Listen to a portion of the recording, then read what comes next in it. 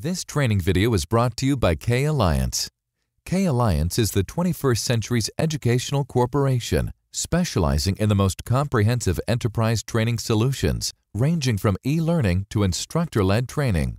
Press play for success. After watching this video, be sure to become a Facebook fan to receive the latest updates, promotions, and course releases.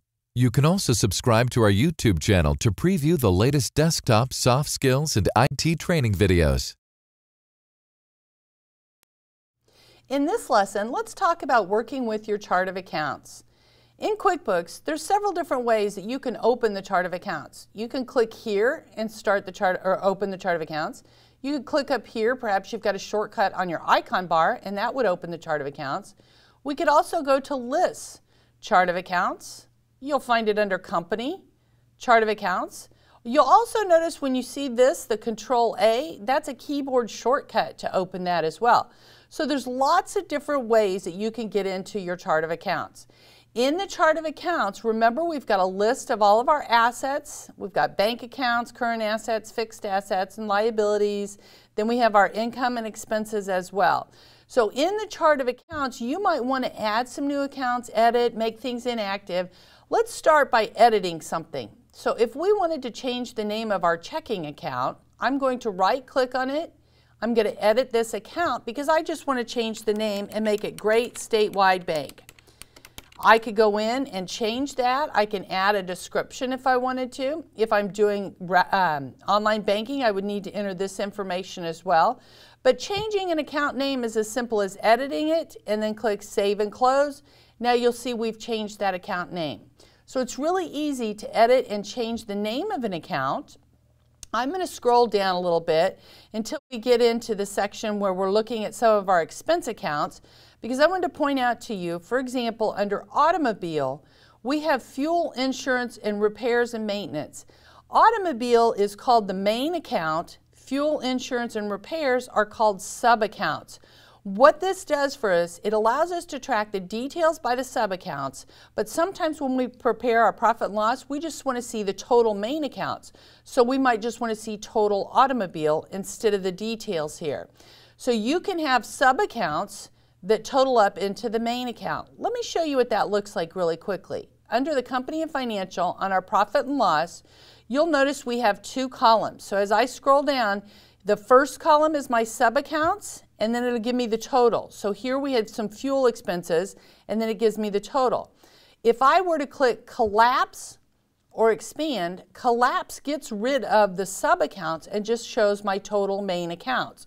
So as you're setting up the chart of accounts, keep that in mind. As you add new accounts, you can make them a sub-account so that you can see the level of detail that you want. Let's say I wanted to add a new account and make it a sub-account of dues and subscriptions. So I can right-click anywhere in the chart of accounts and select New.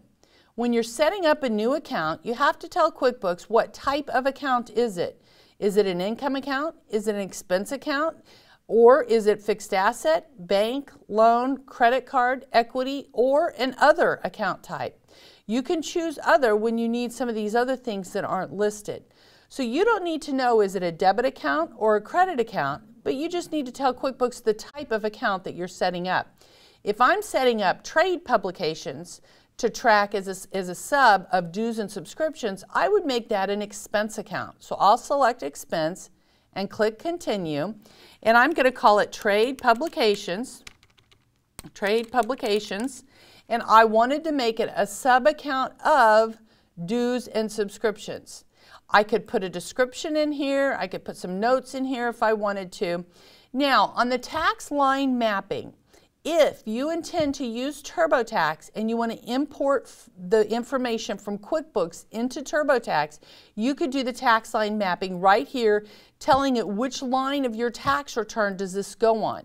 If you do not know taxes, if you don't know what you're, you're not really sure what you're doing, or if you're going to have your accountant or tax professional do your tax return, just leave this unassigned and don't worry about it at all. You don't have to do that. So you can just leave it unassigned and leave it blank. I'll click Save and Close, and now you'll notice that I have a new account set up for trade publications underneath dues and subscriptions. You can add new accounts to help you track where your money is going. You don't want too many though. So go ahead and set some accounts up that will help you see what you're spending your money on, but don't add too many. Occasionally you'll find that you may have entered things that's the same thing and you need to actually merge them together. For example, I have phone and I have telephone. So these really should be merged into one. And this is true for any of your, your lists, your chart of accounts, your customer list, your vendor list. If you have duplicates, you can merge them. So what you need to do is you need to edit to change the name to match the other one. So for example, if I decide I want to keep phone and I want to get rid of telephone, I want telephone to be merged in with phone. So I will edit telephone by right clicking on it, right click, select edit, and we're going to change the name to match the account we want to merge it with. So I'm going to change it to phone, click Save and Close. You should see the message that says, this name is already being used. Would you like to merge them? When I say yes, there is no undo. So if you're not sure, make a backup before you do these things. I'm going to go ahead and click on yes and it now will it takes all the activity from the telephone account and merges it into phone as if they were always one. Again, you can do that on any of your list items. So if you find duplicate customers or duplicate vendors, you can merge those together as well. So working with your chart of accounts, remember you can go through, add new, you can edit, delete things, make things inactive, and get the chart of accounts set up the way that you need it to help you to manage your business.